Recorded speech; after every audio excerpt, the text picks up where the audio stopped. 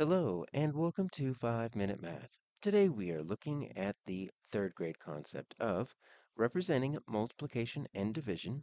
This is standard 3.5b in the great state of Texas, and we are using item number 4 of the 2023 released STAAR test. If you haven't done so already, please go ahead and take a moment to pause the video, work this problem out on your own, unpause it, and we will look at our answers together.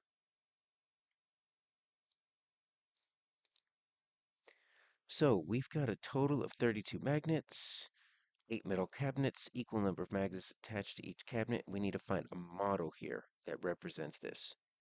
All right, so there are a few things that we could use to kind of help us figure this out. So take a look at this.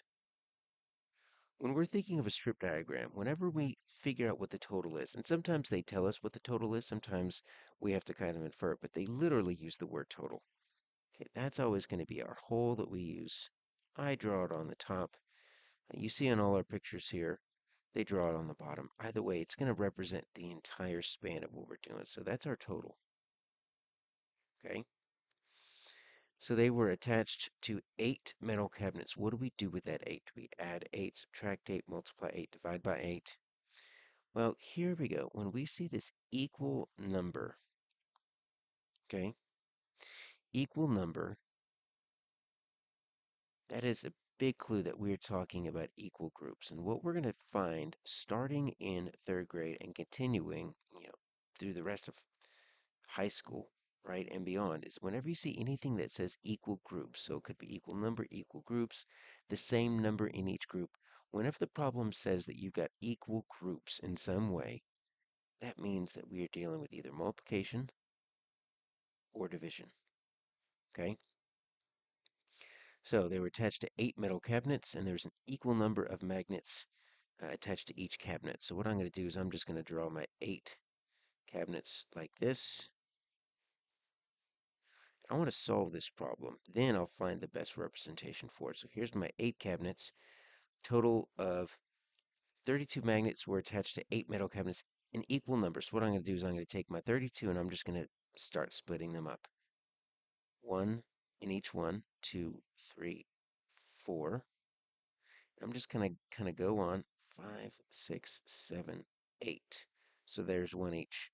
9, 10, 11, 12, 13, 14, 15, 16. That makes sense.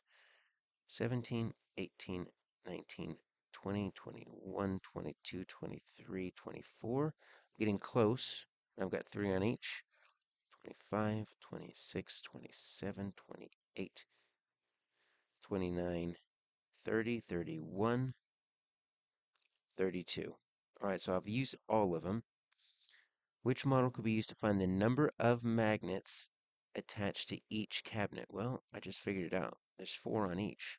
Now, if I recognize this as a division problem, right, I could have said, okay, so I took my 32 and I divided it, right, because I've got equal groups into eight cabinets equally.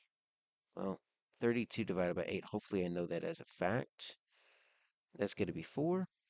I could have also done this. I could have said, okay, 8 cabinets times an unknown number of magnets on each cabinet is going to equal 32 magnets.